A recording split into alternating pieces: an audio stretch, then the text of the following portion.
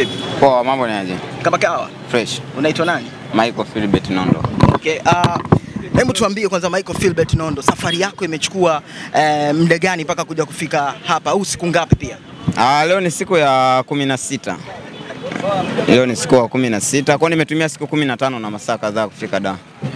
Yeah. Ni hadha gani ambazo umekutana nazo huko njiani? Maana tunavyokuona tu mdomo wako hapo umepasuka, miguu unaonekana safari imekuwa ni ndefu sana, miguu kama hivyo imepata injuries za hapa na pale. Eh, Unaweza kutuambiaje?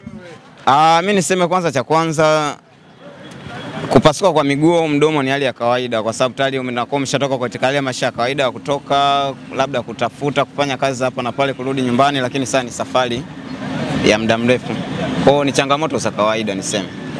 Katika kipindi ambacho ulichosafiri mpaka umefika leo hii hapa Dar es Salaam, umefikia ume, ume, ume, umefikia kwa mwenyeji wako au ndo kwanza ndo umeanza kufika kwanza kukutana na mashabiki wenzako wa klabu ya Simba?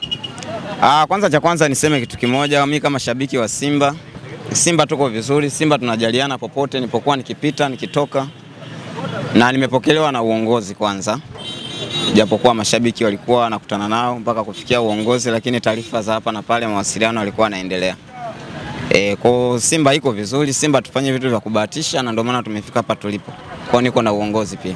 Tarehe 26 Simba inasafiri kwenda kucheza na, na Azam katika kombe la, eh, kombe la FA, lakini kadhalika tunafahamu tuna dabi ambayo inakuja kupigwa hapa Dar es Salaam. Ni kipi ambacho kimekuleta? Ni dabi au tunasafiri tena tunaenda kutazama mechi dhidi ya Azam? Ah, kwanza sio cha kwanza kabisa naweza nikazungumzia kwamba nitoe shukrani zangu za dhati kabisa kwa Mo Mohamed Dewji kwa kuitoa Simba pale ilipokuwa na hapa ilipo, na jambo la pili nishukuru uongozi mzima wa Simba popote Tanzania kwa ushirikiano wao wanaofanya kuhakikisha timu inafanya vizuri, lakini kubwa zaidi pia lililonileta ni kuvunja rekodi yule mwana Yanga aliyetumia siku 22 kutembea. Nadhani kwamba Simba tumeonyesha kitu kizuri, ubora na kwamba tuko imara kuanzia juu mpaka mashabiki. Nimetembea kwa siku 15 na masaa Katika siku 15 mwenzako siku 22. Wewe kupanda gari lolote huko njiani huko mpaka kuja kufika mahali hapa kweli? Maana unapopita kuna mbuga za wanyama unapita, kuna wanyama mbalimbali pia lazima utakutana nao huko njiani, maana kuna misitu. Ah, kwanza sikupanda gari kwa sababu hata kama mkiuliza madereva wanaendesha magari ya kwenda mikoani wamekuwa wakinipita kwenda na kurudi, hata abiria mbalimbali. Na pia Simba sisi ni niseme ni special force. Simba ni jeshi, hatufanyi hivi vya kubahatisha hata siku moja. Yule mwana Yanga alipanda na watu wamethibitisha hata huko njiani, lakini mimi sitaki kuamini kwamba alipanda kupanda. Nimehesabu siku na nimeamini nitafanya vizuri zaidi yake, kwa sababu Simba hatubahatishi, tuko imara. kuelekea gemu ya tarehe 26 dhidi ya Azam. Ah, kwanza mimi niseme kitu kimoja. Simba sasa hivi hatuchezi mechi. Simba sasa hivi tunafanya mazoezi tunaondoka sasa. kwa sababu timu za ndani sioni kama zinatupa changamoto wa sisi tufanye tucheze nao mechi. Tunacheza mazoezi, wenyewe wanacheza mechi, sisi tuko viwango vya juu zaidi.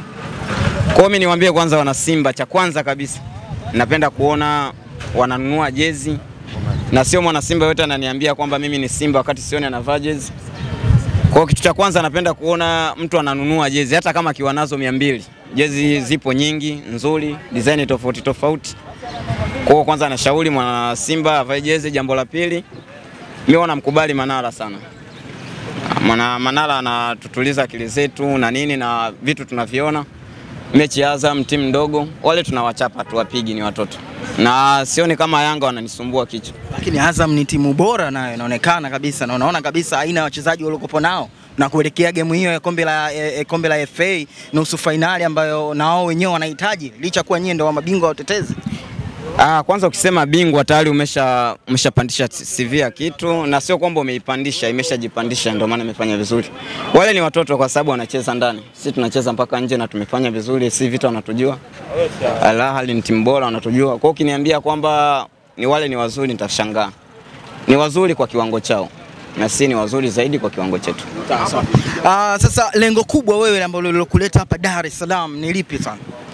Ah, kwanza kubwa zaidi nimeshatanguliza kwamba nakubali sana uwekezaji wa Mo.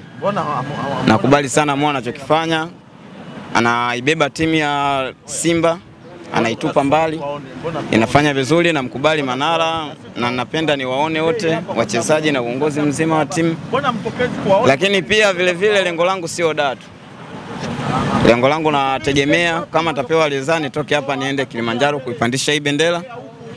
Mlima Kilimanjaro, kwa sababu ni timu kubwa, timu imefanya vizuri, na niseme labda kitu kingine cha msingi zaidi. Kwamba siku zote nabii akubariki kwao, lakini naamini Al Ahly Ngaiza Chifu wakiona jezi yetu wanakimbia. Kwa sina hofu kabisa na timu za ndani, hatuchezi mechi, tunafanya mazoezi. Kuelekea game ya watani wa jadi, Ah, mimi naona kama Yanga imebaki na tusapoti kwa kuwakilisha mito, bahari na maziwa, ila kwenye mpira hamna kitu. lakini walishasema kwamba bwana wao hawatoweza kuleta timu. Ah, kigezo cha kuto kuleta timu ni moja kwa moja wanatuogopa bila ku- kuhofu, kwa sababu mimi naomba kitu kimoja, viongozi wote wa Yanga wawaambie ukweli mashabiki zao kwamba timu sasa hivi ni mbovu, haina uwezo na watuache sisi kama Simba tupanya ya kwetu. Sisi ni wazee wa kazi, shughuli tunawachia Yanga. Ila jana wenzenu wamekuja na comeback moja tamu sana. Walikutana na watoto kama wao, ndio maana wakawa na comeback tano.